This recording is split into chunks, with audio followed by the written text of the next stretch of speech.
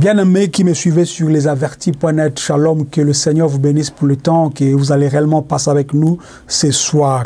Comme d'habitude, nous sommes en train de faire des émissions. Nous faisons euh, chaque semaine au moins une émission en lingala. Vous pouvez suivre l'émission sur les liens qui passent, c'est-à-dire à, sur Bosolo, Nabonzambe pour euh, suivre l'émission en lingala. Et puis en français, nous restons ici sur lesavertis.net et surtout dans notre site internet, ou je vais dire dans notre chaîne YouTube.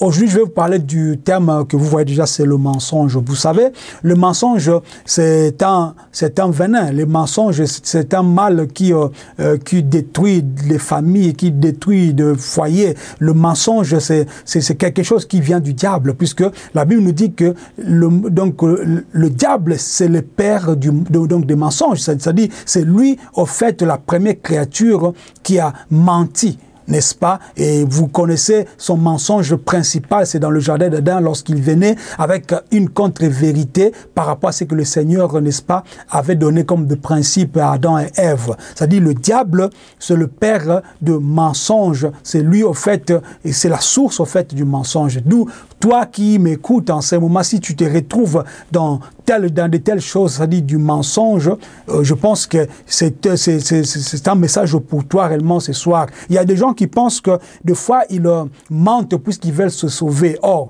le mensonge ne sauve pas, mais le mensonge tue. Puisqu'à cause du mensonge, même devant le juge, lorsque tu dis la vérité, ils peuvent, n'est-ce pas, raccourcir euh, donc, ta, donc ta peine. Mais lorsque tu dis des mensonges et que le juge euh, constate cela, euh, tu vas encore plus payer des, je dire de, donc des amendes inutiles. Pourquoi? Puisque tu as menti et tu as fait passer du temps donc à ces jugements. Or si tu coopères et tu dis la vérité même si tu avais fait quelque chose de, donc de très grave aux États-Unis par exemple il y a donc des États euh, donc tu peux passer à la peine capitale, donc à la peine de mort, tout ça, mais lorsque tu dis la vérité, ils peuvent, n'est-ce pas, te laisser à perpétuité, à perpétuité c'est-à-dire tu restes en prison donc pendant longtemps, mais ils vont pas te tuer, par exemple. Donc pourquoi? Puisque tu as coopéré. Nous allons lire le premier euh, donc, passage dans Psaume chapitre 34, verset 12, nous dit,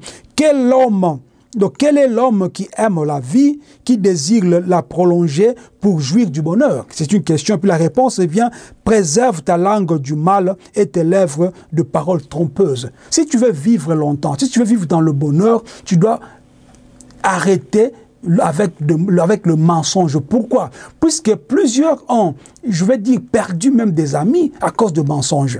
Puisqu'à force de mentir, tu vas oublier, d'autres choses, d'autres ou, d'autres détails. Et lorsque ceux-là euh, qui, euh, qui ont écouté ta première version et qu'ils remarquent ou bien qu'ils comprennent que tu as tu avais menti, tu, tu fais ce qu'on appelle, c'est l'abus, n'est-ce pas, de confiance. Ces gens vont, n'est-ce pas, euh, te, te, rejeter, ils vont plus te donner de la confiance puisqu'ils savent que tu es un menteur ou une menteuse. C'est pourquoi moi je te dirais que la parole de Dieu nous dit dans Ephésiens 4 et 25 ceci, c'est pourquoi renoncer au mensonge et que chacun de vous parle selon la vérité à son prochain, car nous sommes membres les uns les autres. Tu te dis chrétien, mais tu mens même à l'église, soi-disant.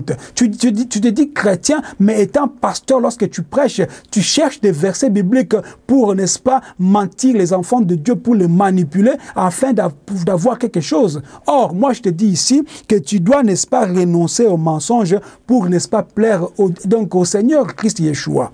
Moi, je, je, suis en train de, de, de t'encourager de te dire que même si tu as commis quelque chose de trop grave, mais si tu dis la vérité, le Seigneur ne manquera jamais à te pardonner, puisque même lui, le Seigneur qui dit, lorsque tu renonces, lorsque tu reconnais ton péché, il est juste et fidèle pour, te pardonner, donc pour te laver de toute donc souiller. D'où la vérité ne peut pas être combattue par, avec, comment dirais par le mensonge.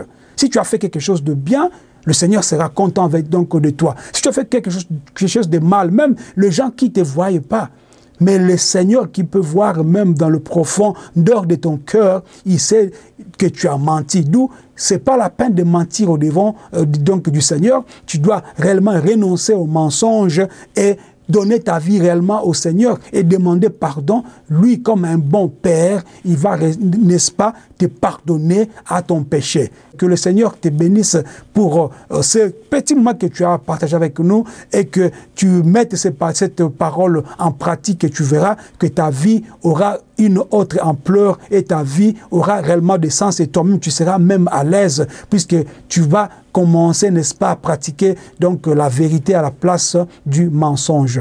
Soyez bénis. Shalom.